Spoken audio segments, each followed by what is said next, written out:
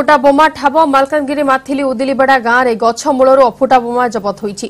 one fifty three BSF বাটালিয়নর যবানমানে ঘটনাস্থলে পৌঁছি তদন্ত আরম্ভ করেছেন বোমাকে নিষ্ক্রিয় করা উদ্যম জারি রয়েছে এঠাকু বোমা কিভাবে আসিলা এবং কিয়ে রক্ষিছি তাহা এযায় স্পষ্ট হয়ে না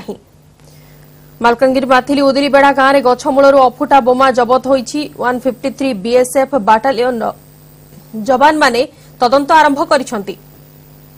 এনেকি অধিক আলোচনা পাই আম প্রতিনিধি মহেন্দ্র পাণিগ্রাহী অনেক ফোন লাইন রে মহেন্দ্র বর্তমান বোমাকু নিষ্ক্রিয় করা গলানি কি এবং বোমা কেমিতি আসিলা সে স্থানকু সে নেই কিছু সূচনা মিললানি কি ଦେଖନ୍ତୁ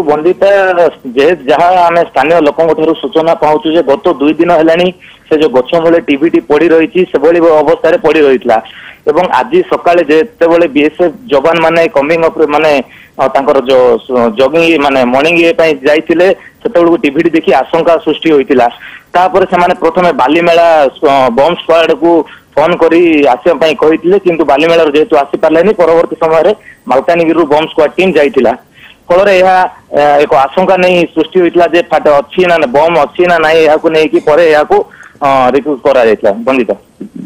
ନିଶ୍ଚିତ ଭାବରେ ଏବଂ ବର୍ତ୍ତମାନ ଯେହେତୁ ସେ ସ୍ଥାନରୁ ବୋମା ଜବତ ହୋଇସାରିଛି ଏବଂ ନିଷ୍କ୍ରିୟ ମଧ୍ୟ କରାଯାଇସାରିଛି ମହେନ୍ଦ୍ର ପାଖାପାଖି ଅଞ୍ଚଳରେ ସେମିତି କିଛି ଆଶଙ୍କା କରୁଛନ୍ତି କି ବିଏସ୍ଏଫ୍ ର ବାଟାଲିୟନ କି ପରବର୍ତ୍ତୀ ସମୟରେ ଆଉ କିଛି ମିଳିପାରେ ହଁ ଦେଖନ୍ତୁ ବନ୍ଦିତା ଯେଉଁ ପ୍ରକାରରେ ଆଜିକା ମାନେ ଏବେକା ଇଏରେ ମାଲକାନଗିରି ଯେଉଁ ମାଥିଲି ଏବଂ ଖଇରପୁର ବ୍ଲକରେ ଦୁଇଟି ଯେଉଁ ମାଓ ଭୟ ସୃଷ୍ଟି ହେଇଛି ଯେହେତୁ କାଳବୈଶାଖ କିଛି ଦିନ ପରେ ପ୍ରାୟ ବହୁତ ଏରିଆରେ ଗଛ ଗଛପତ୍ର ପଡି ରହିଛି ରାସ୍ତା ସବୁ ଜାମ୍ ହେଇକି ରହିଛି ତା ଉପରେ ଏକ ଆଶଙ୍କା ସୃଷ୍ଟି ହୋଇଛି କି ପରବର୍ତ୍ତୀ ସମୟରେ ପୁଣି ବୋମା ଏବଂ ମାଓ ପୋଷ୍ଟର ଜବତ ହୋଇପାରିବ ଯୋଉ ମାର୍କାପଦର ଘାଟି ହଉ କି ମହୁପଦର ବନ୍ଦିତା ସେସବୁ ଅଞ୍ଚଳରେ କବିଂ ଅପରେସନ କେମିତି ଚାଲିଛି ମହେନ୍ଦ୍ର ଆଜି ବିଏସ୍ଏଫ୍ ବିଏସ୍ଏଫ୍ ଓ ପୋଲିସଙ୍କର ମିଳିତ କମ୍ବିଂ ଅପରେସନ୍ ଆରମ୍ଭ ହୋଇଛି ଯାହା ସୂଚନା ମିଳିଛି ପରେ ନିଷ୍କ୍ରିୟ ହେଲା ପରେ ବିଏସ୍ଏଫ୍ ମାନଙ୍କ ପ୍ରତିକ୍ରିୟା ଜାଣିବାକୁ ପାଇଲୁ କିନ୍ତୁ ତାଙ୍କମାନେ କିଛି କହିବାକୁ ନାରାଜ